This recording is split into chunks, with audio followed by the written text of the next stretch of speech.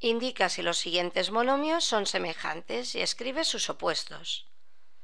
4x elevado a 6 y menos x elevado a 6. Para ver si dos monomios son semejantes, tenemos que fijarnos en la parte literal, que la han de tener idéntica.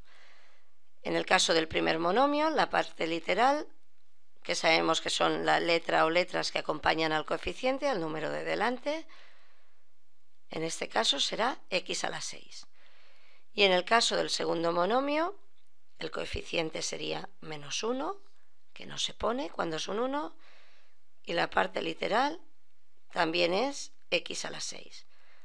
Por lo tanto, como tienen la misma parte literal, decimos que sí son semejantes.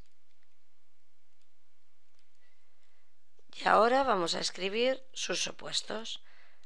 Para calcular el opuesto de un monomio, lo que tenemos que hacer es cambiarle el signo al coeficiente. Por lo tanto, el opuesto de 4x a la 6 será menos 4x a la 6. Y el opuesto de menos x a la 6 será más x a la 6.